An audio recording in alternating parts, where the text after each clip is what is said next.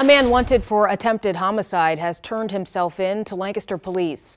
Freddys Dionicio-Gomez is charged for the January 2018 shooting at a club on Pershing Avenue. Police say the suspect was thrown out of the club but returned with a gun and tried to shoot a man. There was a struggle with a security guard who was shot in the arm. The suspect is being held in the Lancaster County Prison. Bail was set at $25,000.